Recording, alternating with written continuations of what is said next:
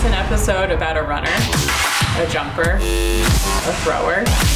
Is this a trick question? It's about an athlete that performs all of these events. My name's Taliyah Brooks. I compete in the heptathlon. That's seven events over two days. We do 100 hurdles, high jump, shot put, 200, long jump, javelin, and 800. This is the science of heptathlon with Taliyah Brooks. And now we're going to the track because that's what I do. My name is Dr. Samantha Stuek. I'm a primary care sports medicine physician at HSS. I'm Taliyah Brooks. I'm originally from Wichita Falls, Texas. I went to the University of Arkansas and I was able to go professional. And I definitely wouldn't be here without my family. They're my support system. The heptathlon is seven events. We do it over two days. First day, we do the 100 hurdles, high jump, put, we run the 200. Come back the next day and we do the long jump, javelin, and 800. The better you do in each event, the more points you get, and at the end, whoever has the most points wins. Sometimes it's not always about winning the event, it's about what mark can you put up so that you can get X amount of points in that event heptathletes and decathletes, a lot of times they are considered the world's greatest athletes because we can do so much with our bodies. We're able to push our bodies in ways that other people might not be able to do.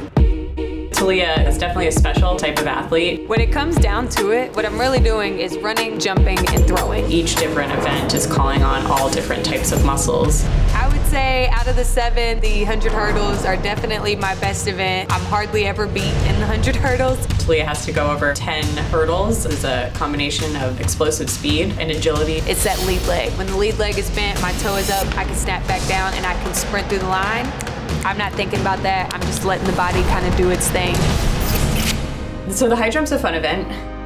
It's actually a fun physics problem. This is my PR. Getting her horizontal energy to convert into an extreme vertical energy. You want to run a J, is what we call it, so that you have energy going this way. Using their quads, their glutes, their core to then actually land on a planted leg. With your foot here, so that energy can take you up. The J is what's going to take you that way. So that's going to then use the explosion from their gastroc, their soleus, Achilles tendon, which is one of the strongest tendons, to then all of a sudden go from that horizontal motion to that extreme vertical motion. So it's kind of cool when you kind of look at it like, oh gosh, I'm getting my body over this because it's so much taller than you. For the shot put, it's all about power. She has to throw an 8.8 pound ball. In comparison, that's about a gallon of milk as far as she can. Her first is about 44 feet, which is truly unbelievable. I like to pretend that I'm Ryan Crouser. A little boost of energy, so a little confidence. I'm thinking about trying to use my legs. I'm trying to hit like here, trying to keep the ball back and trying to really use my hips and turn them forward and keep everything up and really push through the ball and make it go far. That's the goal. Make it go far. So the 200 meters is a complete anaerobic event. By the time you get to the 200 on the first day, you're taxed, you're a little tired, you've gone through three events. It's a lot of fast twitch muscle fibers. You're running as just as fast as you can, trying to get your knees up. You also have a little bit of the curve playing into that. Just running. Okay, long jump is the first event on day two.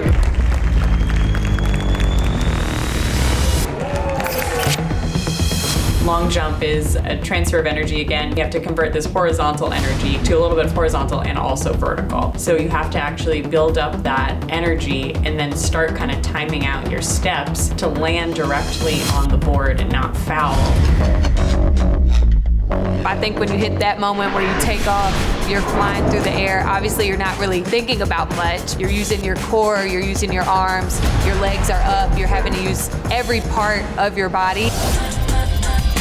And then once you land, I think you just realize, first of all, like, I just did that. And that was really cool. She jumps 22 feet. it's very far.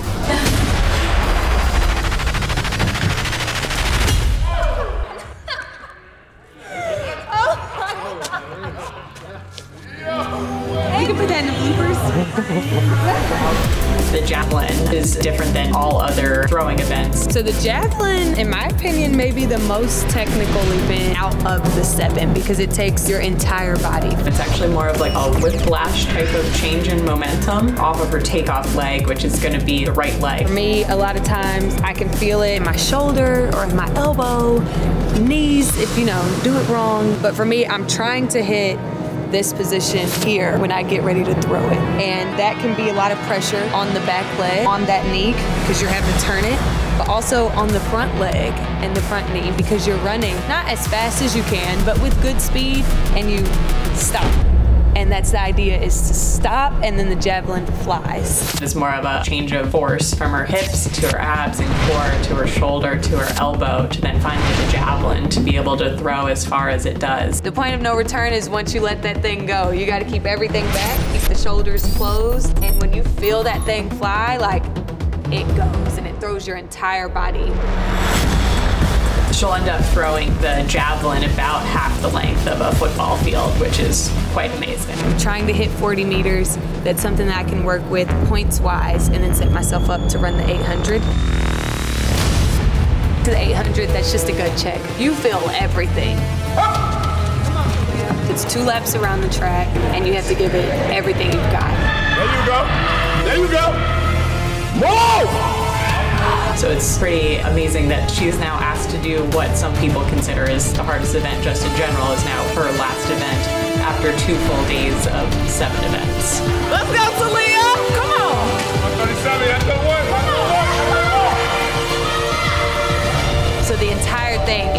Of no return. It's a combination of aerobic and anaerobic respirations. What?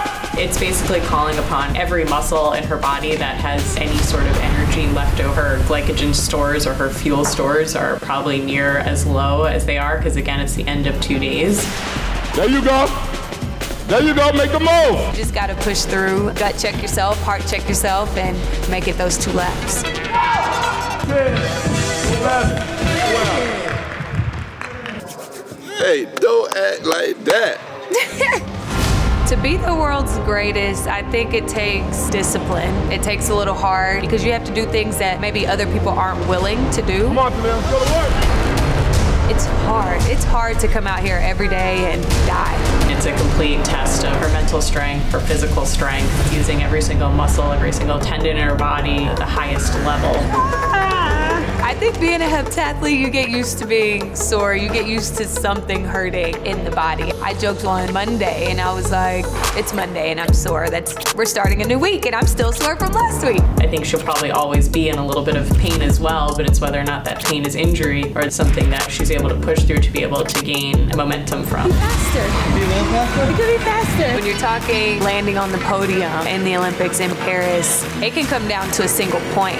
You could be 6,500 points points in third and 64.99 is fourth. For me, the physical part accompanies the mental part, but without both of them, you can't reach the thing. So this year is a really big year for me. The goal is obviously to be in Paris, and I know that that's gonna take work. I think now in 2024, like the confidence in myself is there and the, the belief that I belong in this sport and I belong in this event and I'm just as good, if not better than some of y'all out here. That was an honest answer.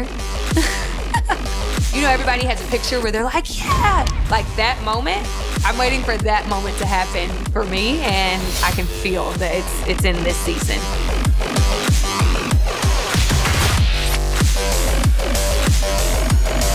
Let's go.